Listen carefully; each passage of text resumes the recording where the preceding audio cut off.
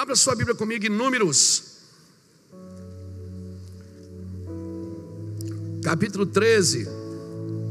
Ontem nós lemos o versículo 1 e 2. Hoje nós vamos ler o versículo 25 em diante.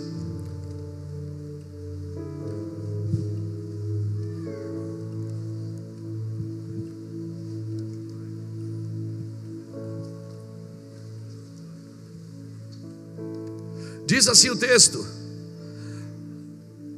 Ao fim de 40 dias, voltaram de espiar a terra. Vieram a Moisés e a Arão e todos da congregação dos filhos de Israel no deserto de Parã, em Cádiz. Deram-lhes conta a eles, bem como a toda a congregação, e mostraram-lhes o fruto, e mostraram-lhes o fruto da terra. Relataram a Moisés o seguinte: Fomos à terra a que nos enviastes ela verdadeiramente emana leite e mel. Este é o seu fruto. Mas o povo que habita nessa terra é poderoso e as cidades fortificadas e, muitos, e muito grandes. Também vimos ali os filhos de Enaque. Os amalequitas habitam na terra de Negueb, os heteus, os jebuseus, os amorreus habitam na parte montanhosa, os cananeus habitam junto ao mar, ao mar ao longo do Jordão. Então Caleb fez calar o povo perante Moisés e disse: Subamos animosamente e possuamos-la em herança, pois certamente prevaleceremos, prevaleceremos contra ela. Subamos animosamente, subamos animosamente e possuamos-la em herança, pois certamente prevaleceremos contra ela.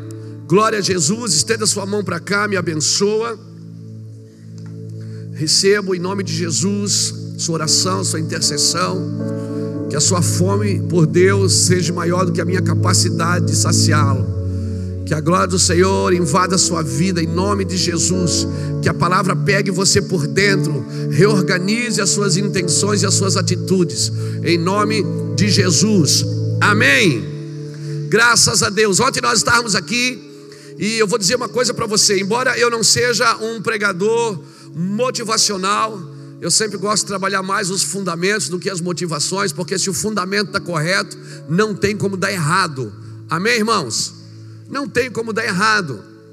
Se os fundamentos estão corretos, o homem, a Bíblia diz, em Mateus 7, 21, que o homem que constrói a sua casa sobre a rocha é aquele que obedece, ouve e obedece a sua palavra. É semelhante ao homem que constrói a sua casa sobre a rocha, vem a chuva, dão contra aquela casa, mas aquela casa fica intacta. Então você vai perceber que a chuva, que o vento, que os problemas são os mesmos em todas as casas. Mas a casa que está sobre a rocha, ela é sustentada pela obediência a Deus. Amém? E nós falamos disso ontem. Moisés, pela sua própria vontade, ele envia homens para espiar a terra. Doze homens, um de cada tribo. Eles não eram homens comuns, eram homens chefes de tribos, príncipes, homens acostumados a guerrear, visionários. Eles foram espiar a terra, mas em vez de eles se de focarem nos frutos, eles focaram nos relatos. E eles voltaram desanimados, porque é assim que todo mundo anda. Quem foca nos relatos anda desanimado, irmão. Você, nasceu para focar na palavra que Deus te deu, amém? Você não precisa ter segurança nenhuma. Se você tem uma palavra, é o suficiente, é o bastante para começar, amém? Eu me lembro quando eu vim alugar essa igreja aqui. Há 18 anos atrás, o pastor Ulisses morava nessa rua aqui na frente. Minha mãe morava ali também. E eu vim de Blumenau para ir na casa deles filar um café. E eu, quando eu passei aqui, eu comecei a chorar dentro do carro. Um Fiat Uno que eu tinha ganho de oferta.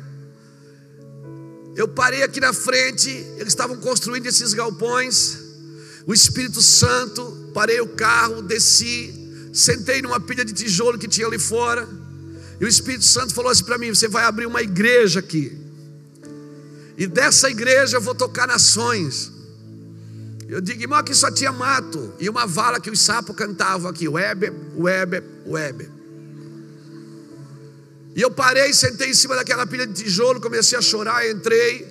Aqui era uma parede, era, são vários galpões, aqui nós estamos em dois galpões. E aí entrei, tinha umas pessoas trabalhando. Eu perguntei de quem é esses galpões aqui. Disseram, é, é do Luiz do Sal, ele está ali no escritório. Eu fui lá, seu Luiz, sentei com ele. E ele disse: Eu disse, o senhor está alugando o galpão? Ele disse: Está. Eu disse: Eu quero aquele lá da ponta lá. Aí ele perguntou: O que, é que você está pensando em fazer aí? Eu disse: Uma igreja. Ele disse: Uma igreja. E deu risada. Mas aqui não tem nada, não tem ninguém. Quem é que vai vir numa igreja aqui? Eu digo: Eu não sei. Eu parei ali na frente. Deus falou aqui dentro comigo que aqui vai ser uma igreja. E aqui antigamente, antes dos galpões, eram outros galpões mal acabados, era bailão. E eu já tinha vindo no bailão aqui, irmão. E para mim era uma luta agora dizer que Deus falou comigo que ia ser uma igreja. E eu ia ser o pastor dela. Eu já dancei aqui um vaneirão. Nesse mesmo chão.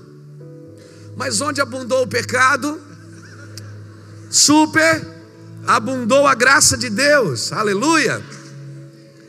E eu fui e ele disse: tá, quando estiver pronto, eu te alugo. Na época era, eu acho que era R$ 1.500, se não me engano, o aluguel. E aí eu corri ali na casa do Ulisses. O Ulisses tinha uns caminhões ali, vendia, tinha um depósito de melancia. Depois fui na casa do pastor Lapa. E aí nós, eu já estava morando, morando em Blumenau. E aí Deus falou: E agora eu tenho um problema, porque agora a igreja vai ficar pronta. E nós não tínhamos cadeira, não tínhamos som, não tínhamos nada. E eu tinha um programa na rádio aqui, na Rádio Luz da Manhã, que eu ganhei de oferta o programa. E aí eu fui no programa, lembra lá, e pedi, disse, irmãos, nós vamos abrir uma igreja aqui em Itajaí. Então você que deseja nos doar uma cadeira, meu negócio com cadeira é antigo, irmão. Meu negócio com cadeira é de muitos anos atrás. Entendeu? Mas cada ano que passa ela melhora um pouquinho. E eu fiquei assustado, porque em uma semana nós ganhamos 500 cadeiras. E aí, viemos para cá, para o Galpão. Um pastor que hoje pastoreia uma igreja aqui na Francisco de Paula Seara, o Jaime. Na época ele não era pastor, ele era só pedreiro. E ele me chamou e disse: Deus mandou eu vir aqui fazer o altar para você, dar de oferta o meu trabalho. Eu digo até aí tudo bem, o problema é o cimento e o cal e a areia para fazer voltar. Daqui a pouco começou a parar gente ali na porta. Um homem deixou um Fusca. Só Deus mandou dar o meu carro para vocês. E foi embora a pé. Deixou o carro ali na frente, a chave dentro. E o documento. A Sandra, manicure. Deixou a bis dela. Veio ela e a filha dela. A Andressa. A Andressa era menininha. Disse: Ó, oh, pastor, eu não sei se estou ficando doido. Eu digo: deve estar mesmo, porque deixou a, a bis dela ali na frente com dois capacetes. E começou a chegar gente, começou a chegar caminhão de areia. Eu só falava na rádio, as pessoas traziam aqui. O som, fomos comprar o som. E aí, o som era uma fortuna, irmão. A gente fez uma dívida de um ano para pagar o som. Um som terrível. Você falava A, entendia B. Mas começou por quê? Por causa de uma de uma palavra. Você não precisa ter nada, você precisa ter uma palavra.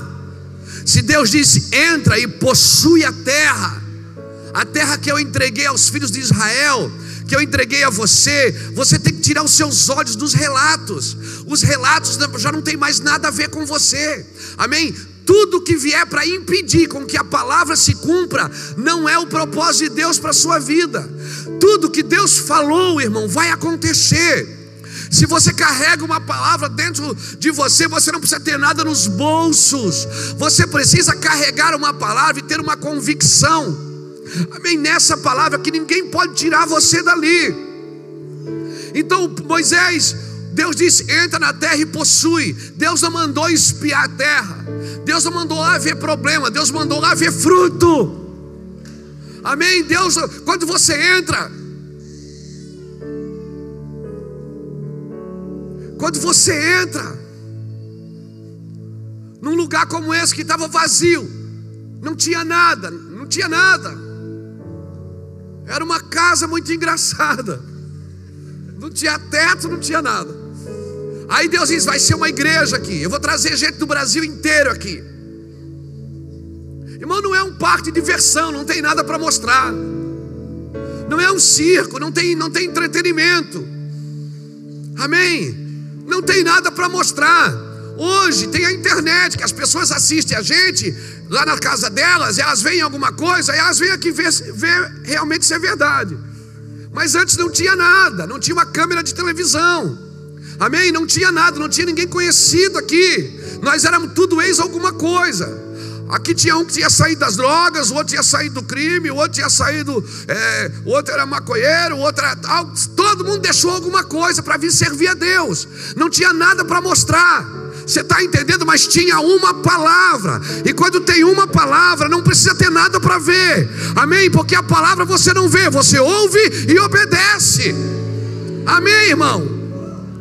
Tudo que Deus criou, criou pela palavra. Não é as circunstâncias que criam a palavra, é a palavra que cria as circunstâncias. Então a gente tinha uma palavra, entramos, viemos para cá. Deus falou com esse povo: entra e pega a terra, a terra é de vocês. Entra e pega a terra, a terra é de vocês. Então eu não tenho que ver se tem gigante, se se vai ser difícil, se vai ser, vai ser fácil, irmão, toda obra de Deus é difícil. Eu vou falar de novo: toda obra de Deus é difícil. Sabe por quê? Porque ela se move por fé. Você tem que acreditar antes de acontecer. E é difícil você acreditar quando você não tem evidência. Mas você tem que acreditar antes, antes de acontecer. A fé é a firme certeza. Por isso que a Bíblia diz que o justo vive pela fé. Ele tem que esperar. Ele tem que saber que foi Deus quem disse. Irmãos, nós estamos na ceia.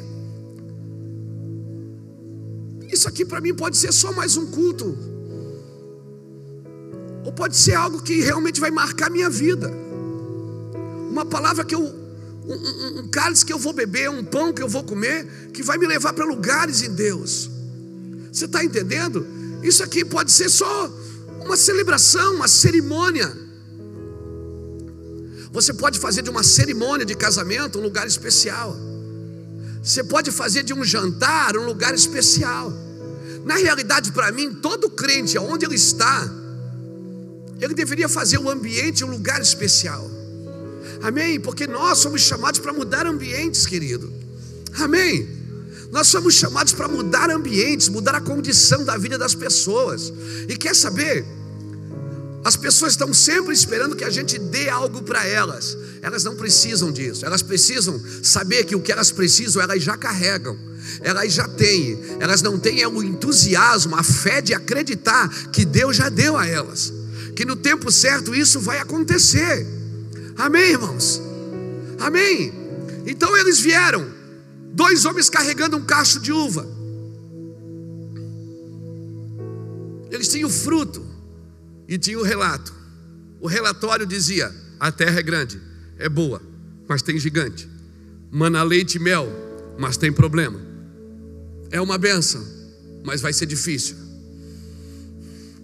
Em vez de eles focarem nos frutos, eles focaram nos problemas.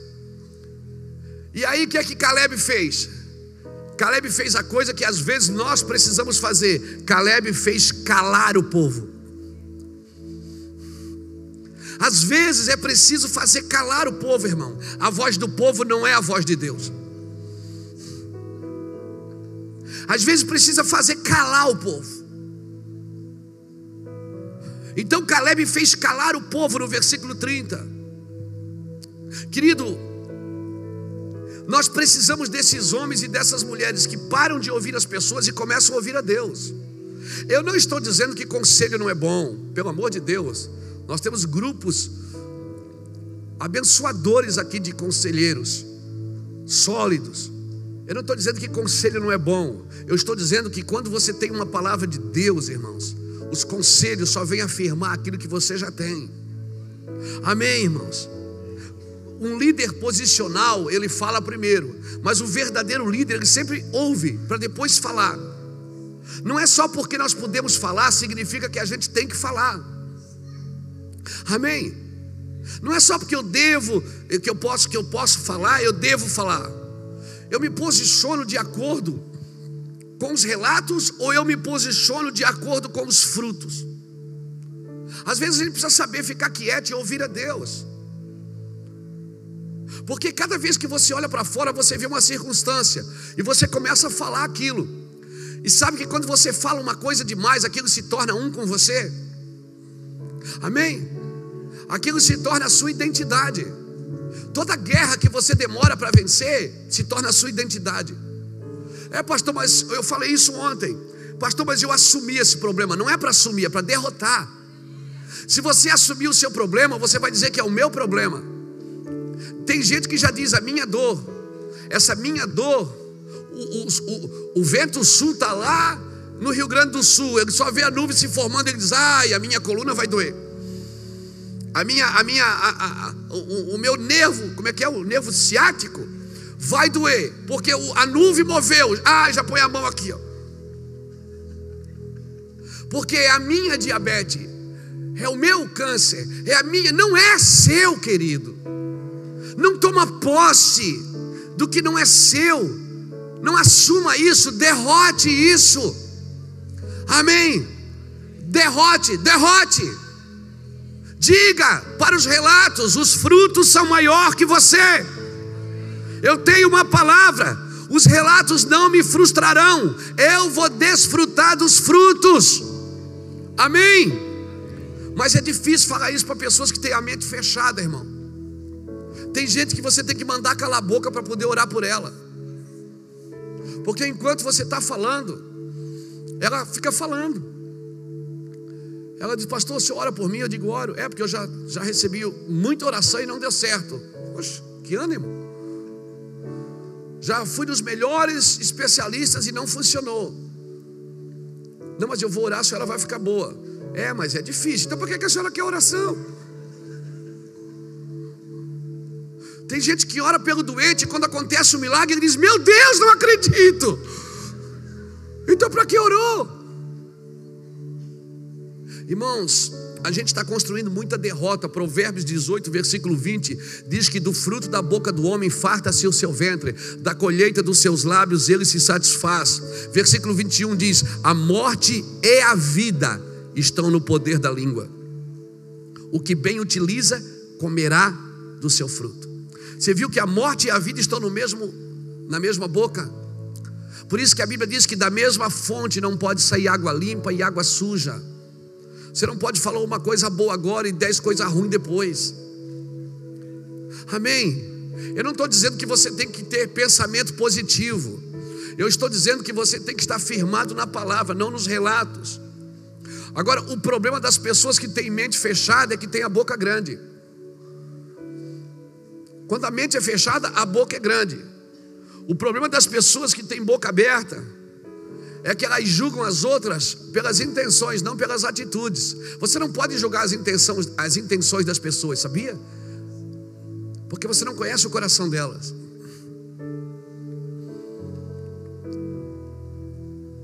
A gente tem dificuldade de julgar as atitudes, a gente julga as intenções. A pessoa nem fez nada, a gente já está. Irmãos, Deus te chamou para ser profeta, não investigador. Amém? Você não tem que investigar a vida de ninguém, não. Você tem que ser profeta e declarar que ela vai mudar. Amém? Deixa esse trabalho para o FBI, para o Moro, para o Sérgio Moro. Amém? Esse trabalho é, é, é do juiz, deixa para ele. Você é profeta, você declara o que, o que está por vir, o que você gostaria que aquela pessoa se tornasse. Não crie uma, uma atmosfera de pânico e não deixe ninguém criar uma atmosfera de pânico perto de você. Por isso que Caleb, eia, ele fez calar o povo. Ele disse: cale a boca. Nós temos uma promessa. Irmão, por causa deste dia, eles perderam 40 anos.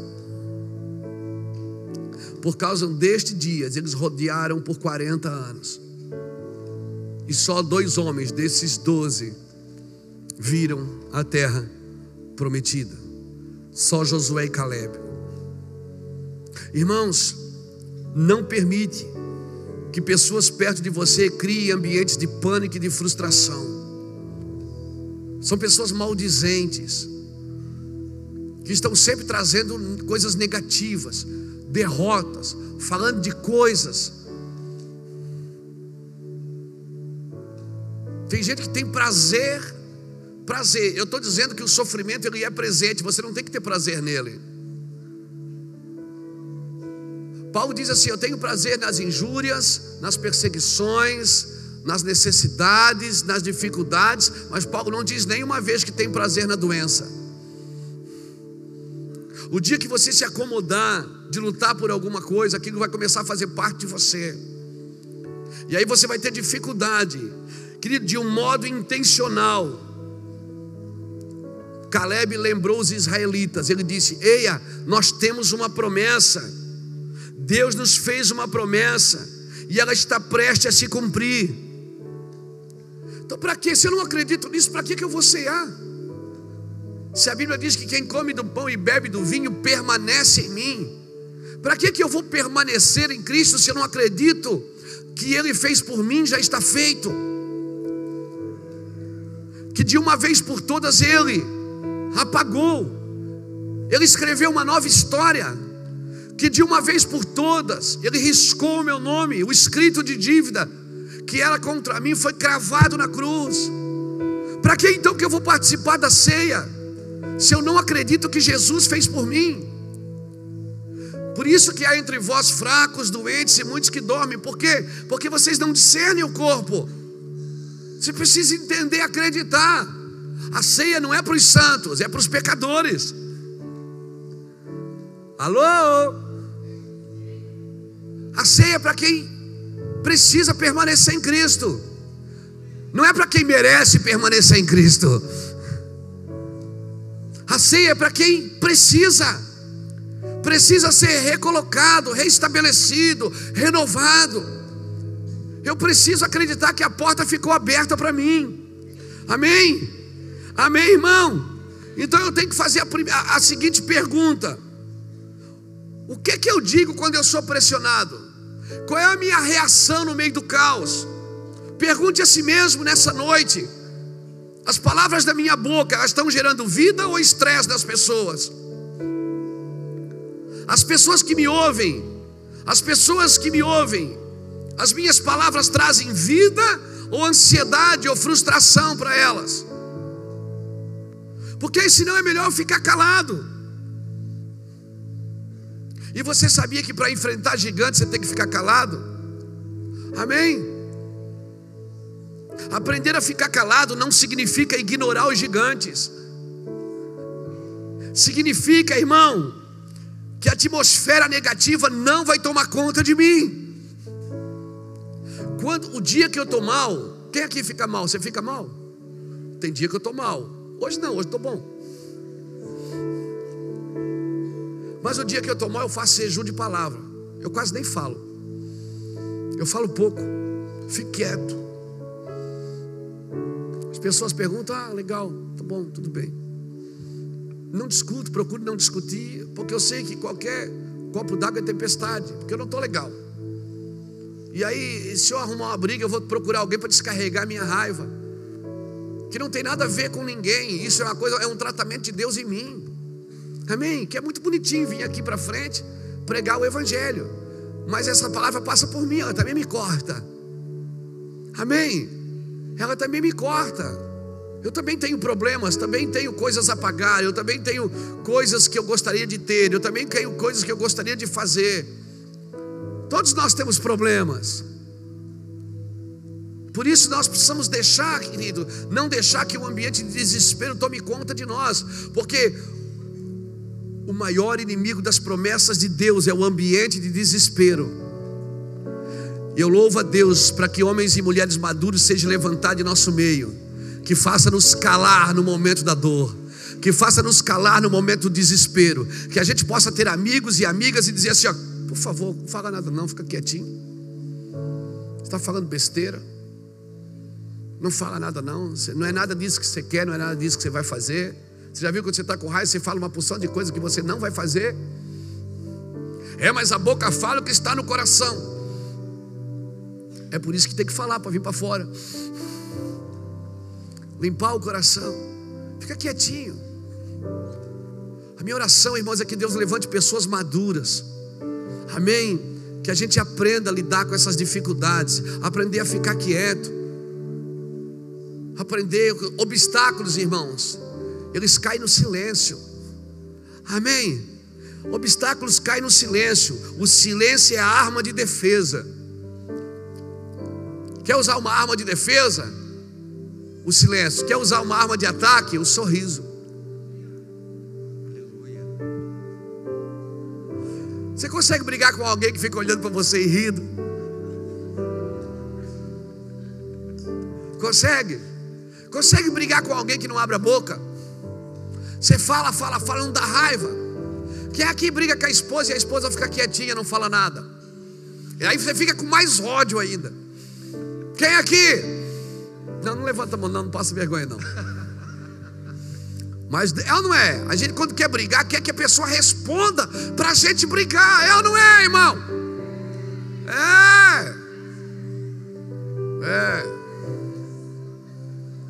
Mas você fala, fala, a pessoa não fala nada. Tem coisa pior do que você querer brigar, a pessoa não querer brigar com você? Hum? Não soa como nos ignorar? Mas são pessoas sábias que na hora do caos fecham a boca. Que na hora do caos faz o povo calar a boca. Querido, desfruta do fruto. Amém. Desfruta do fruto. Por isso, querido, o silêncio ele vai derrubar obstáculos. Por abrir a boca, por abrir a boca, os israelitas ficaram por 40 anos no deserto, mas por ficar em silêncio, rodeando os muros de Jericó, os muros caíram. Por abrir a boca, eles ficaram mais 40 anos rodeando que é que Deus fez? Eles ficaram 40 anos rodeando o deserto e murmurando, rodeando e murmurando, rodeando e murmurando. Agora Deus faz o que? Na primeira cidade, Deus para eles e diz: Agora eu vou ensinar como é que se derruba os obstáculos. É em silêncio, seus bané. Botou um atrás do outro, um atrás do outro. Por que, que Deus botou um atrás do outro? Porque crente fala com os olhos. É. Ele está em silêncio, mas está assim para o outro.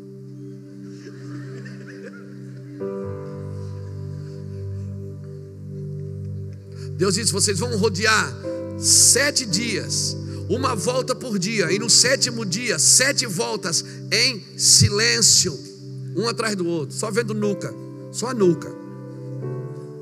De frente, não, porque se fica de lado, irmão, um, um, se um olha para o outro já era. Porque crente fala com os olhos. Ele, ele murmura com os olhos, só de olhar. Está rolando louvor, você já sabe se ele está gostando ou não. Na palavra você já sabe. Então Deus diz: vocês ficam quietos e não olham para o outro, fica um atrás do outro. 40 anos por falar, vocês pagaram um preço, rodearam por 40 anos. Agora eu vou ensinar vocês a rodear em silêncio para derrubar os obstáculos, amém, irmãos? Por isso, meu recado para você nessa noite: saia de perto de pessoas provocadoras de contendas, que abra a boca só para contender. É melhor ficar em silêncio. Fique em silêncio, não fala nada. Porque se o silêncio não vencer, não é as tuas palavras que vão vencer, as tuas palavras têm que ser liberadas na hora de construir algo. Suas palavras não foram te dadas para te defender, elas foram te dadas, irmãos, para construir, para criar. Você é a imagem de Deus, é um criador como Deus criou. Amém? Saia de perto de pessoas que se sentem mais santas do que as outras. Amém? Ninguém aqui é santo o suficiente, irmãos, Porque se fosse santo o suficiente, Jesus não precisaria ter morrido na cruz e você não precisaria da ceia hoje. Mas a Bíblia diz que ele olhando para a terra não viu nenhum justo sequer. Por isso, do seu próprio braço, ele susteve salvação.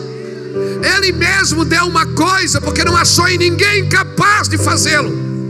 Amém? Você não é capaz, eu não sou capaz, ninguém é dono da verdade, ninguém é dono da santidade, e por isso não julgue as pessoas por suas intenções. Podemos até falar daquilo que foi, ah, fiz isso errado, fez aquilo errado, são atitudes, não são intenções. Porque, irmãos, Deus está construindo no nosso caráter esse lugar de construir. Deus nos chamou para construir. Amém? Saia de perto disso, querido. Saia de perto disso. Agora abra comigo João, capítulo 15, por favor.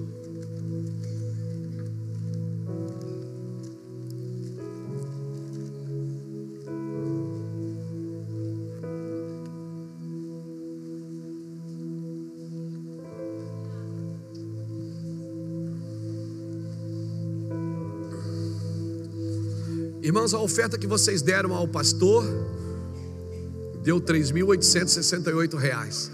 Amém? Deus abençoe. E 95 centavos. 3.863 e 68 reais e 95 centavos. Amém? Glória a Deus. João capítulo 15 diz assim: Eu sou a videira verdadeira meu pai é o agricultor. Todo ramo que é em mim, todo ramo em mim que não dá fruto, ele o corta. E todo ramo que produz fruto, ele poda, para que produza mais fruto ainda. Vós estáis limpo por causa da palavra que eu vos tenho falado. Permanecei em mim. Permanecei em mim. E eu permanecerei em vós.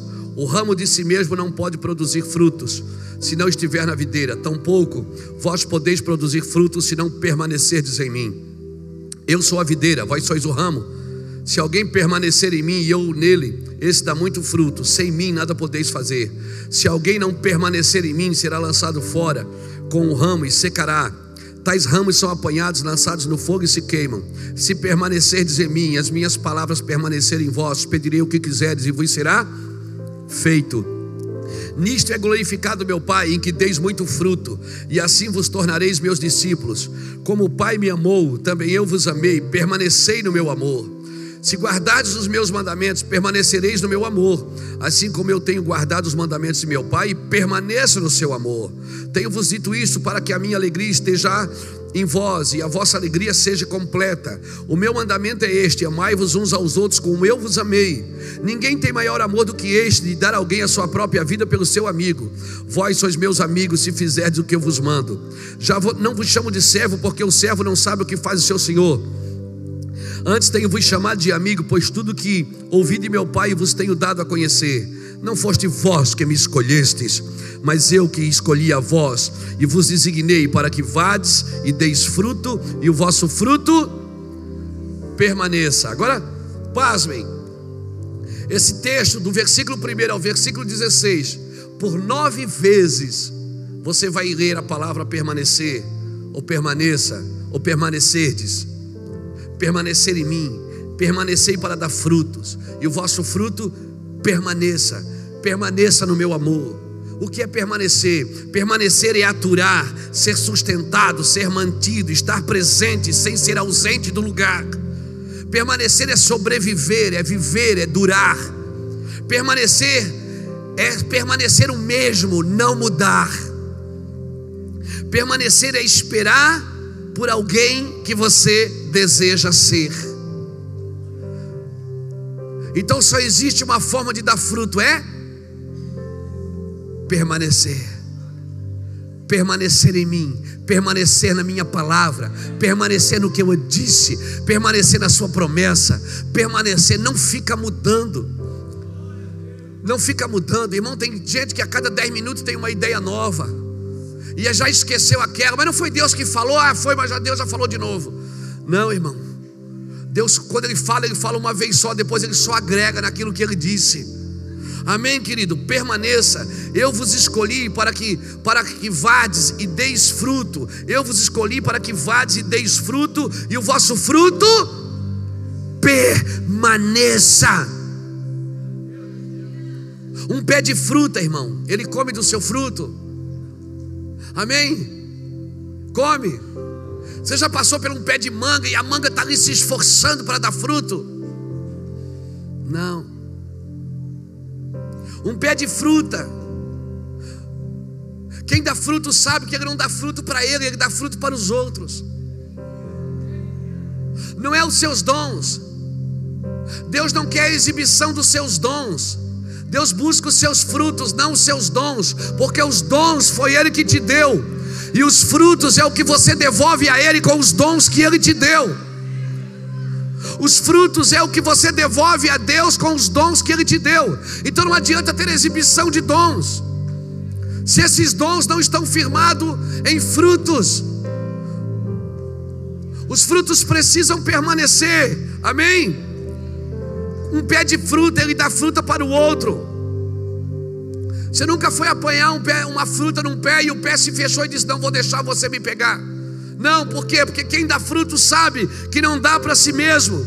A natureza de quem dá fruto sabe que dá fruto para servir o outro. Sim, quem dá fruto sabe que é para o outro, não é para si mesmo. Jesus secou uma figueira porque não tinha fruto. Pastor, mas eu estou dando fruto, pastor. Faz tudo certo, sou marido de uma mulher só. Faça minhas contas, pague em dia. Sou um homem que quando eu não tenho dinheiro para pagar, eu vou lá e digo, eu não tenho, mas eu vou pagar. Eu faço tudo organizado, minha vida é uma agenda organizada. E por que essa luta? Porque quem não dá fruto, ele corta e lança fora, mas quem dá fruto, ele poda, para que dê mais fruto ainda. Se está estreito é para aumentar a produção, meu irmão. Se estreitou é para aumentar a produção. Se ano passado você deu um fruto, esse ano você vai dar 10. Ano que vem você vai dar 20. No próximo 30, porque quem dá fruto, o propósito de quem dá fruto é, é desenvolver a sua capacidade de continuar dando fruto e o vosso fruto aumenta. Aleluia! Por isso, ele deu dez talentos para um, cinco para o outro, e um para o outro. E aquele que pegou um e não fez nada, ele disse: dá para aquele que tem dez.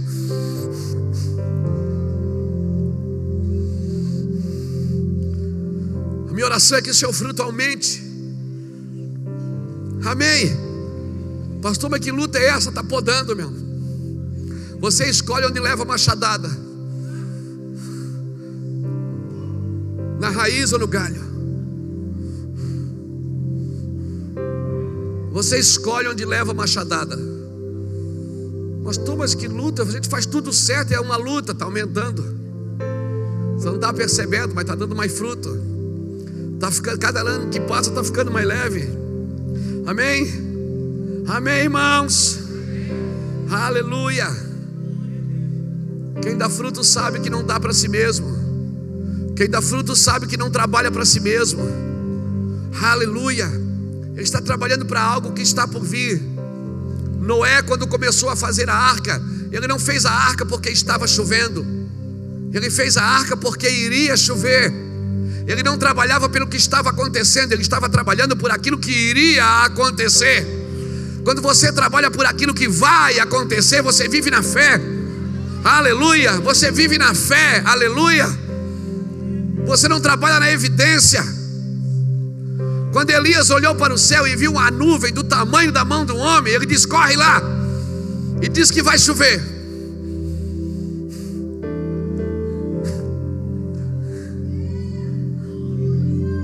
Não importa o tamanho da nuvem, querido, importa quem colocou ela ali.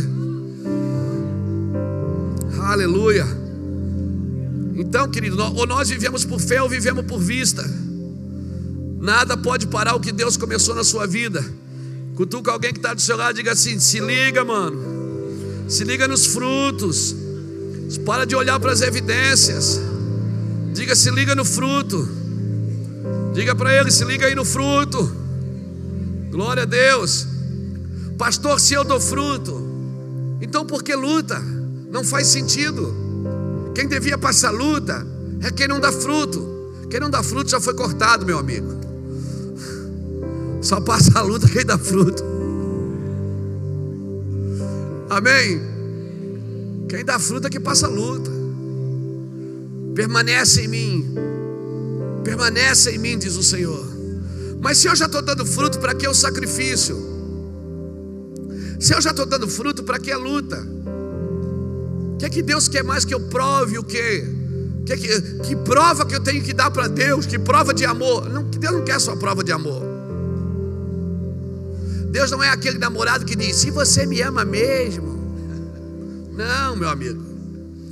Quando ele pede prova, não é para ele saber se você ama ou não, é para você saber o quanto você ama ou não. Deus já sabe, ele, não, ele é onisciente. Quando Deus pede provas suas, não é porque ele está desconfiado de você, não, é que ele quer mostrar você para você mesmo. Ele quer que você tenha um choque de realidade, para você ver que você não é tão bom assim, que nem tudo que você prometeu você faz. Mas mesmo assim, Ele vai continuar te amando, porque Ele disse: se você for infiel, eu continuo fiel, porque não nego a minha palavra. Mas eu só estou mostrando você para você mesmo, para você se ligar. Uhum. É. Mais um texto só para a gente cear. Abra comigo Hebreus capítulo 10.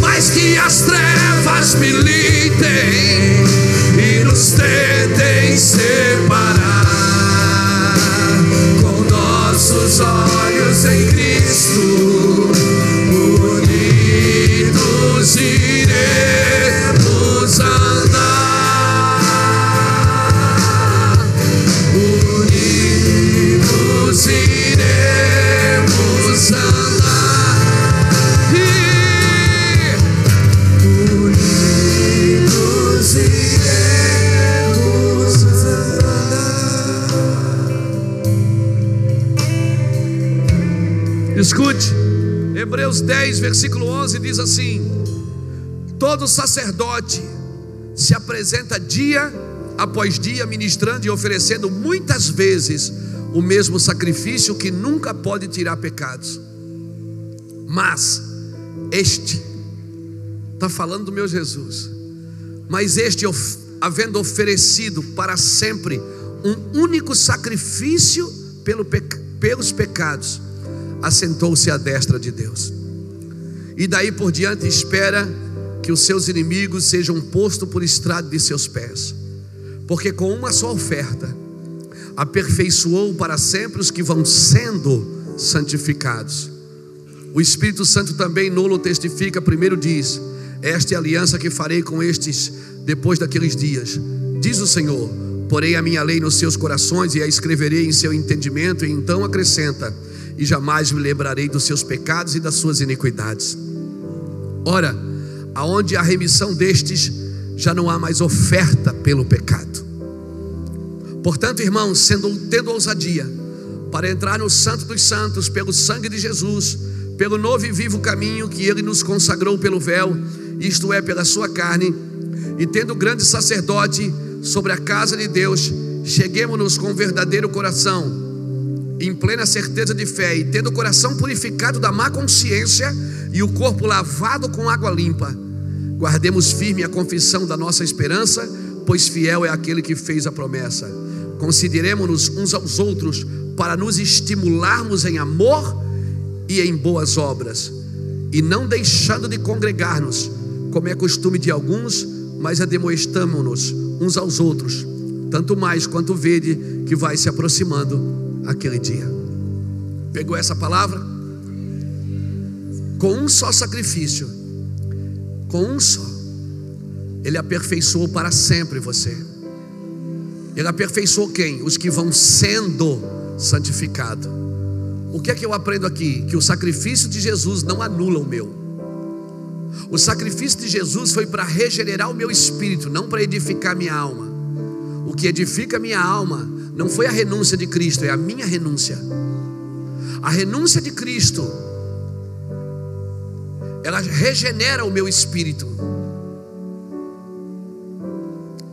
Um dia eu vou ser arrebatado e o meu corpo será glorificado.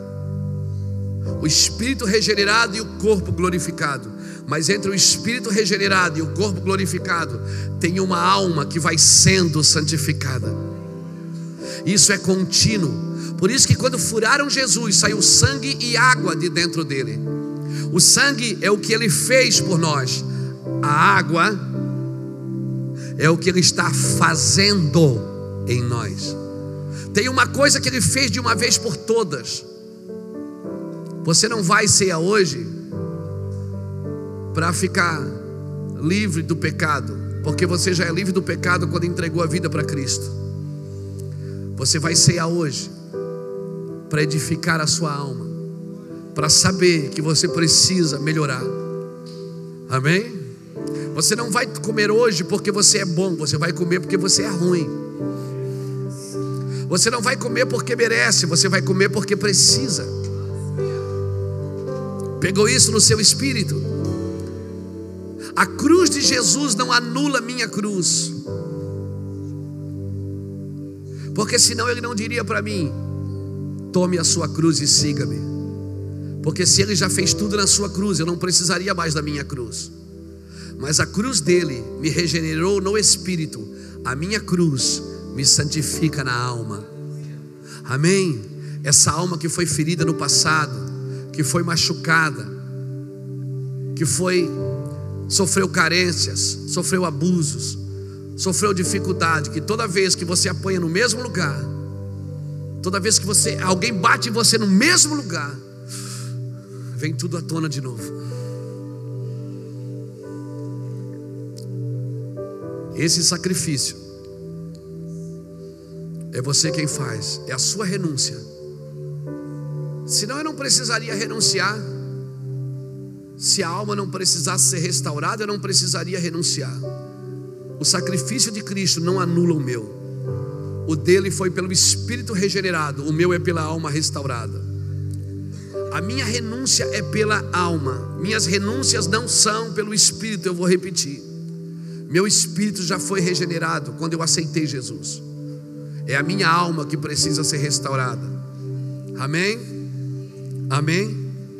Então, quando eu como do pão e bebo do sangue, eu estou dizendo: Senhor, restaura minha alma, porque estás abatido a minha alma. Alegra-te dentro de mim, porque tu ainda o louvarás. Um homem, irmão, que deixa o espírito governar a sua alma. Ele não vai viver por sentimento, nem por emoções. E sabe de uma coisa? Eu não estou dizendo que você vai ter que anular os sentimentos e as emoções. Eu estou dizendo que eles não vão dirigir mais a sua vida.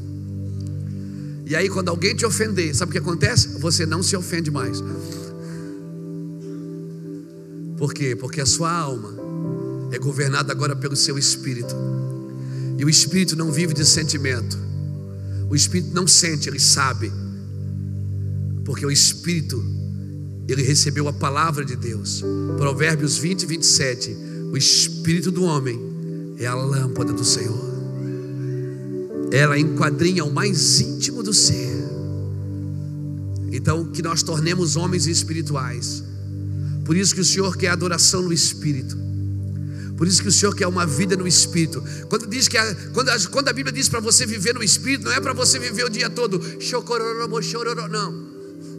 É para você entender. Viver no Espírito é você viver de convicções.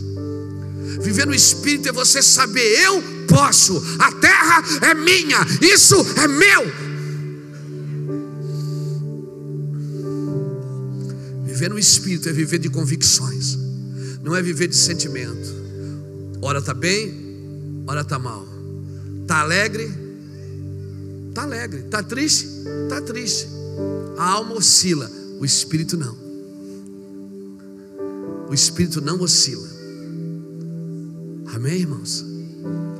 E o espírito não reconhece outro Deus. A alma não, ela se entrega para qualquer coisa. A alma se entrega. A alma sente. A alma quer. A alma deseja. O espírito não. Por isso que no inferno não tem adoração. Porque o homem que vai ao inferno vai no espírito.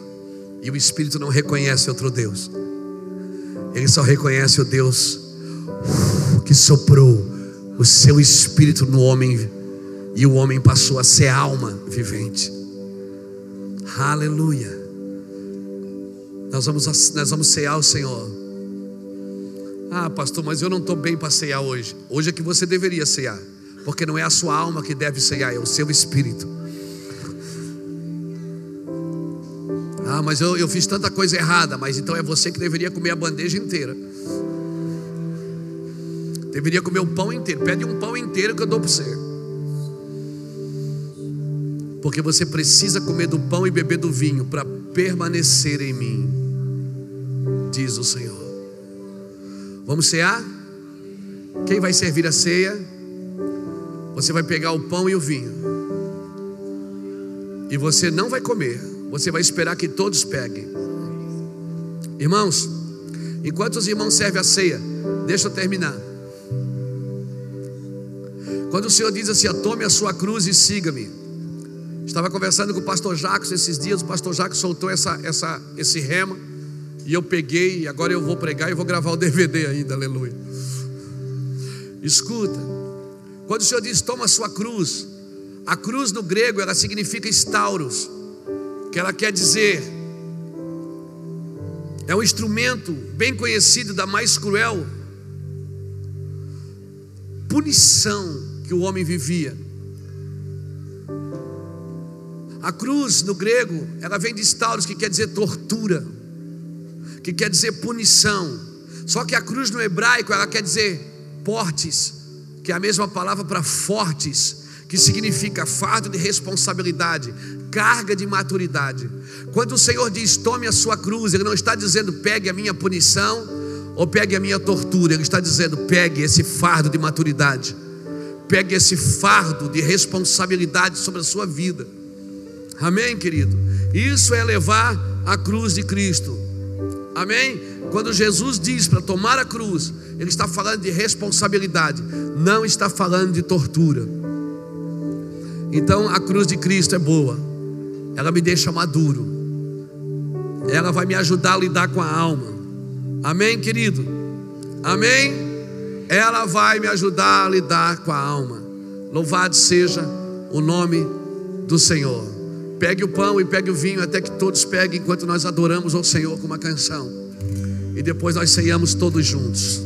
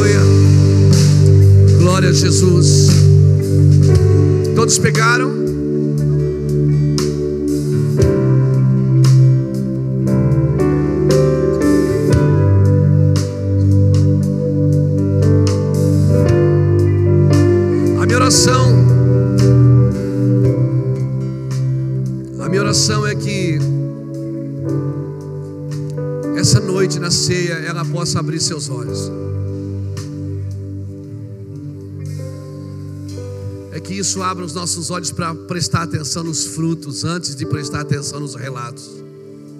Amém, irmãos? Querido, os relatos nunca vão estar a favor.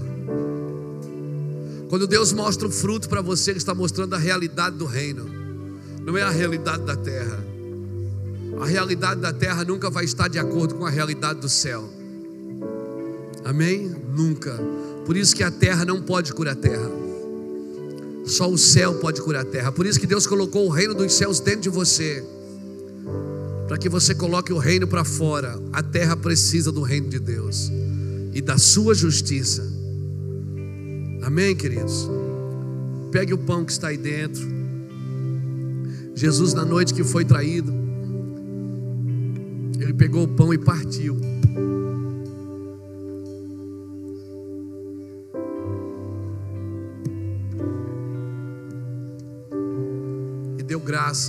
E a gente faz questão de fazer um pão sem fermento.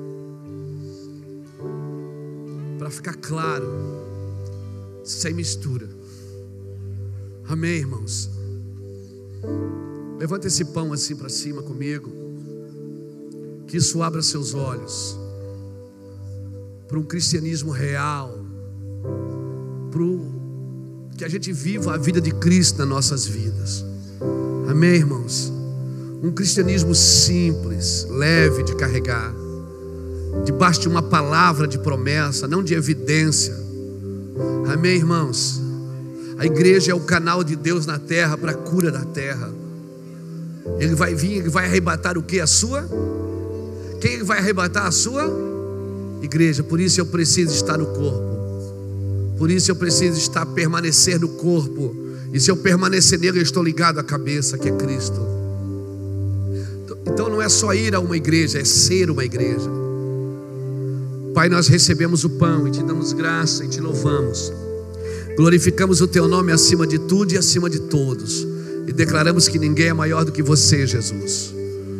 Pai, nós comemos esse pão e esse pão que abre os nossos olhos espirituais. Que nós possamos ver, Senhor, como o Senhor vê. Quando a gente olhar para uma pessoa, que a gente não veja o pecado, que a gente veja a pessoa que está ali dentro, o homem espiritual que o Senhor criou. Embora foi formado no pó, mas ele foi criado no Espírito, Senhor. Nós declaramos, Pai, em nome de Jesus, que esse pão abra os nossos olhos. Sim, Senhor, que a gente possa ver o que estamos fazendo de errado e aquilo que podemos melhorar, Senhor. Que as nossas renúncias venham contribuir, Senhor Deus, com a restauração da nossa alma. Em nome de Jesus, participamos todos do pão. Em nome do Pai, do Filho e do Espírito Santo.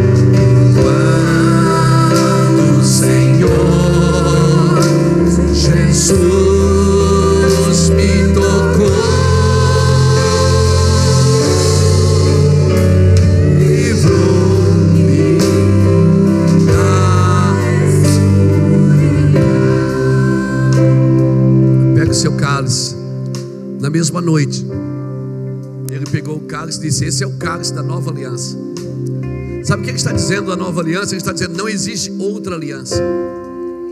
aliança é no meu sangue, não é no seu desempenho, é no meu sangue, diz o Senhor. A nova aliança está firmada no sangue de Jesus. Pois todas as vezes que comeres do pão e beberes do cálice, lembrarás da morte do Senhor até que ele venha um memorial. Nós estamos aqui hoje fazendo um ato profético. Não é só uma cerimônia de ceia, é um ato profético. Amém, queridos? Um ato profético. Lembrando do que aconteceu, vivenciando isso aqui hoje, do que aconteceu. Porque todas as vezes que comedes do pão e bebedes do vinho, presente, lembrarás da morte do Senhor, passado, até que ele venha, futuro. Então você está fazendo algo que toca as três eras: o presente, o passado e o futuro. Amém? Senhor, nós santificamos o cálice. Santificamos o cálice.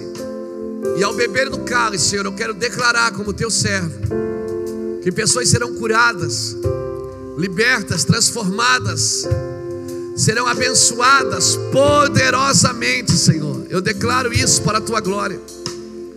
Declaramos, Senhor Deus, a queda de Babilônia.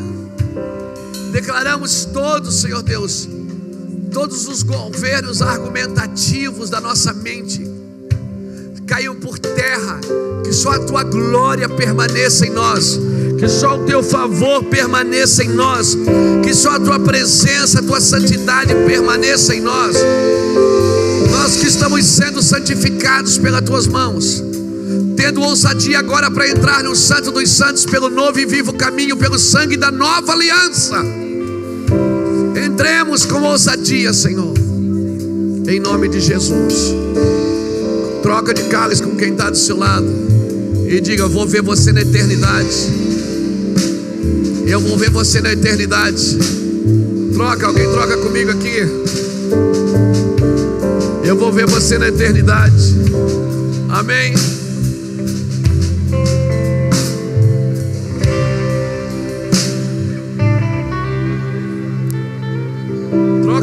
Quantas pessoas você puder. Deixa o sangue correr no corpo.